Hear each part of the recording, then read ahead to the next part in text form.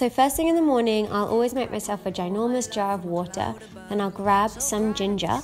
Someone taught me this awesome trick. If you use the back of a spoon to scrape the peel off the ginger, it comes off really easily. Then I'll slice that up.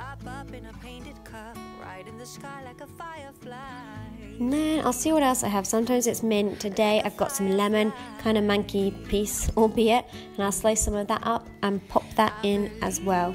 And I'll pretty much leave that on the side all day just to keep drinking from, otherwise, I get so dehydrated. Next up, it's coffee. So I got this jar from a really cute charity shop. I'll take one, maybe two spoons of coffee and get it into my cafetiere and wait for that bad boy to brew. I'm super nervous. Come January, I'm giving up caffeine for the month. Eeks.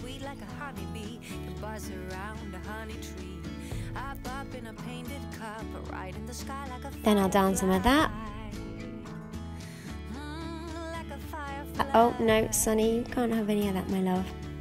Then I might snack on some nuts, some Brazil nuts and cashew nuts right there. Then around now, I'll usually start making a smoothie. So I take some banana, spinach, flaxseed, oat milk, chia seeds, and date syrup.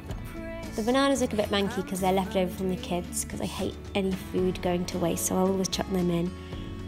Ideally, I'd like something frozen as well, but I don't have anything this time. It's actually quite a good activity to do with your kid. You can see Sonny's kind of interested. Provide some entertainment for him and some deliciousness for me.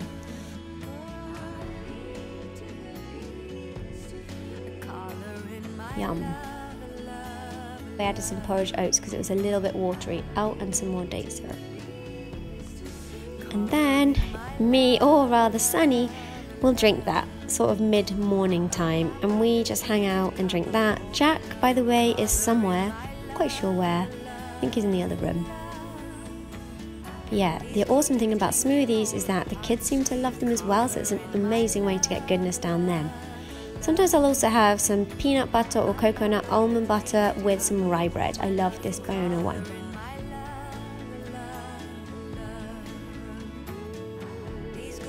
Lunchtime.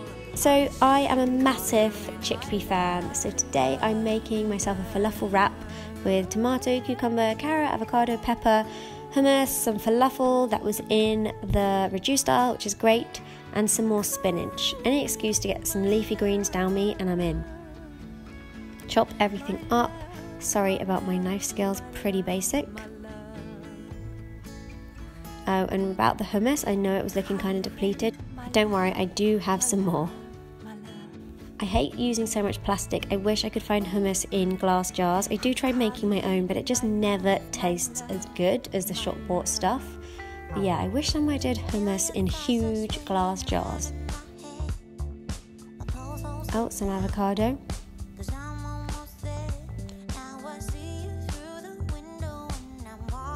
Then I'm going to get spreading. Falafel wraps are just super easy and ridiculously tasty.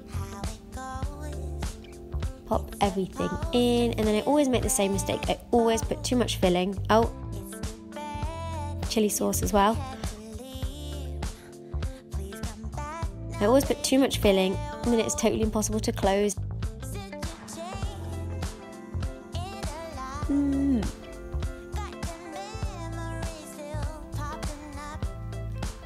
So, in terms of snacking, I'll have some fruit. Then, my favourite banana bread that I make, I'll pop the recipe below with a cup of tea, usually rooibos in the afternoon. So good, this banana bread. It's vegan, made with chia seeds and water, so good. Dinner time. Tonight I'm going to make black bean burgers with chips and spinach. So, here I am boiling up some potatoes to start making my chips. They're looking good. Then I'm going to saute some onions and use the black beans which you really, really need to mash all the water out of, otherwise, they just don't hold in the burger. Then I've added some parsley, some chili, some flour, and just mush it all together. I'm making it all into patties now. Got my brother and his girlfriend coming over to dinner, so I'm making quite a few. And there they are. Then I just put everything in the pan and cooked it up. And there we go. The cool thing about this meal is that you can add cheese for any non vegans. And that's it.